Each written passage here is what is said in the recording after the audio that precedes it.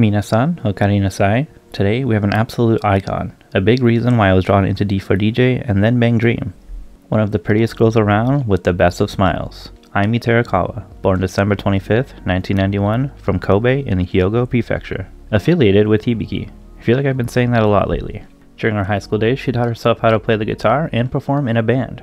She initially only aspired to become a singer, but she became interested in voice acting after becoming familiar with the anime series Macross Frontier, where she was impressed at how the series was able to combine music with storytelling. Hoping to become a professional singer, she began participating in various singing contests, such as the Animax Anisong Grand Prix in 2009. She also performed at various live venues, including a steakhouse in Kobe. Aimi fully started her career in 2011, winning an audition to become part of the Tantei Opera Milky Holmes franchise. She made her voice acting debut with this franchise as the character Kazumi Tokiwa, also voicing Suiko Tatsunagi in Cardfight Vanguard. This same year, she made her solo music debut with the release of her first single, Tenshi no Clover. This song was used as the opening theme for the series Latte's Toy. Her second single was also released this year, and it is one of my song recommendations. Live for Life, Okami Tachi no Yoru, Look how young she is here. 20 year old Aimi hits different. So precious. Nowadays, she's like a total babe. But anyway, this was the opening for the show Bento. Good show, in fact. Way before I even knew who Aimi was, I was a massive fan of this opening. In 2012, Aimi was a guest at Anime Expo as part of the promotions for the Cardfight Vanguard franchise. She was then cast as the character Julia in the mobile game Idolmaster Million Live. And later in the anime as well, she also performs as this character in live action and is partnered with Azusa Tadokoro, the two of them being in the subunit D Zeal. She also sang Link, the opening for The Ambition of Oda Nobuna. 2013, Aimi would release her first full album, Love, and sang We Are the Stars, the 14th ending to Fairy Tail, another song I was a really big fan of years prior to knowing who she was. This is a really gentle, soothing song. But the next song would be her final solo single for a long time, that being Unmei no Ori, the opening for the series Severing Crime Edge. Aside from music, she voiced Roxanne E. Lipton in A Freezing Vibration. 2014 is the year with the most roles from her. First, Moa Tori in recently My Little Sister is Unusual. Then Hikaru Rukuruin in Argevollen. Also Mayura Momochi in Engaged to the Unidentified. Really fun show.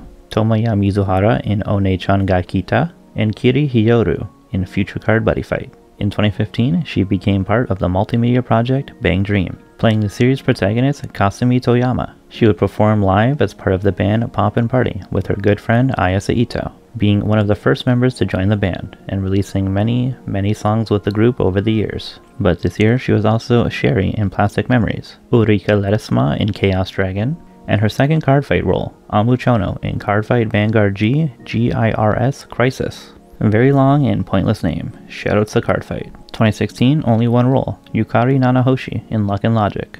This year was definitely all Bang Dream stuff for her. 2017 and 2018 is all second seasons of Pyre stuff and mostly her just doing Bandori stuff. But in 2019, she joined another multimedia project, this one being called D4DJ. She joined the group Peaky P-key with fellow Bang Dream member Reo Kurachi, voicing their leader, Kyoko Yamate. She had some other new roles too. Milark Cranston in Symphogear X5, or is it 15? Again, I'm going to assume the Roman numerals and it is 15. I really got to watch this series though, I've heard a lot of good music from it.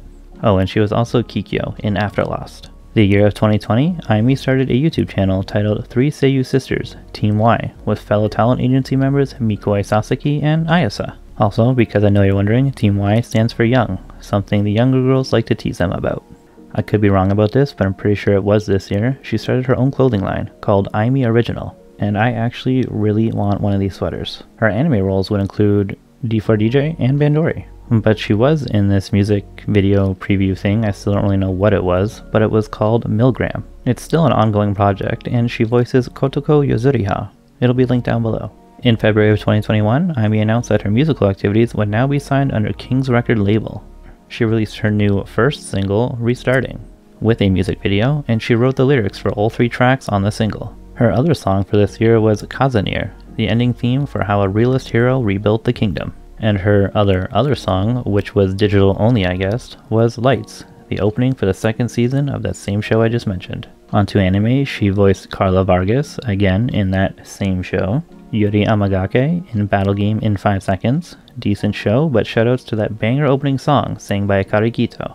And Nanako Kogure in Remake Our Lives singing the opening with Poppin' Party. Almost forgot she had her first solo live in like 6 years, and this was titled I Mean It.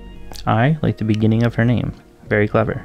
2022, her second album, first new album, titled I Me Sound. That phrase is very important to her, being her Twitter handle for as long as I can remember. And it's her live tour title for this year, which she'll be having one show in October, one show in November, and two in December. That second one being on her birthday, which I'm noticing is a very common occurrence in the Seiyu industry. They usually perform or release something on their birthdays. As for anime, Yomugi Takahashi in Teppen, co-starring with the rest of Team Y, and then two smaller roles.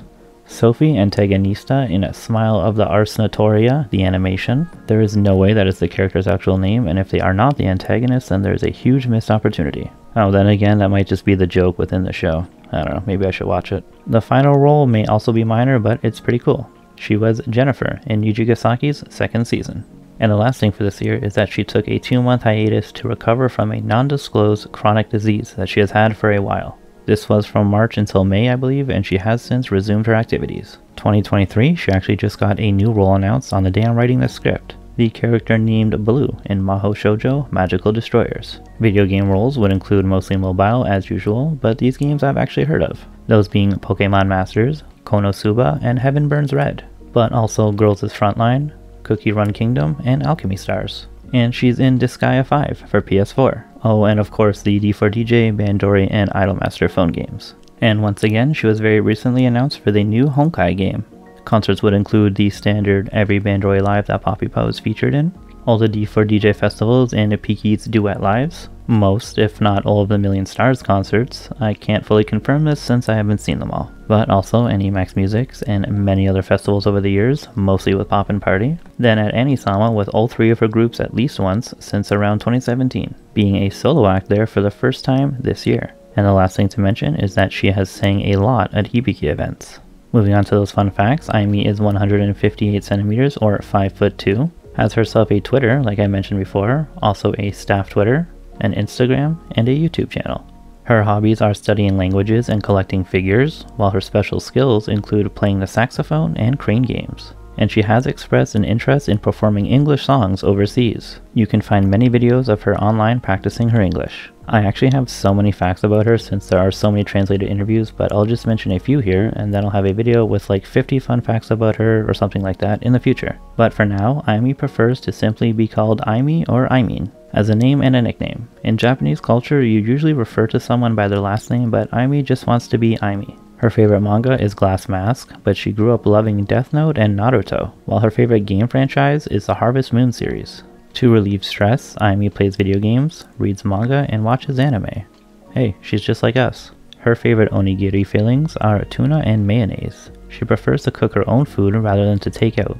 This is because it keeps her skin pretty and she has a weakness to anything sour flavor. She owns a pet snake named Annie, and she likes reptiles in general. Her favorite color is gold, and she has a driver's license. She is a cat person rather than a dog person, a trait she shares with her main hero member Amita. Aimi is a fan of the MCU, with her favorite character being Tony Stark. She is also a fan of the J-rock band Bump of Chicken. At some point, she picked up the hobby of fortune telling and has studied the tarot deck very well. It's pretty cool. I wonder if she's seen JoJo or played Persona. Honestly, she probably has, and that's what inspired her to get into the tarot deck to begin with. She says her charm point is her smile, and I don't think anyone will disagree with that. She has both an older brother and a younger sister, the younger sister actually being Chiharu Hokage, formerly of the group Nanabun no Niju ni. Aimi and her little sister used to not get along very well, and it wasn't until Aimi reached high school that they finally started to act more like sisters rather than enemies. Maybe I made it seem a little more hostile than it was, but Aimi describes it more as them just doing their own thing and completely ignoring each other.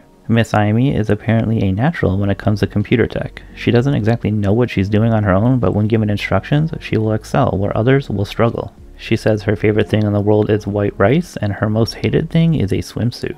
When asked which Bandori song apart from her own that she liked, she replied with Raise A Suilen's Unstoppable, mostly because of Raychell's voice. She has said that like her character Kyoko, she has been told that she can be very unapproachable at times. But this is actually not the case, and she is in fact very happy to meet or speak with anyone. When she first started performing, the gap between what she wanted her singing ability to be and what it currently was was so big that it stressed her out.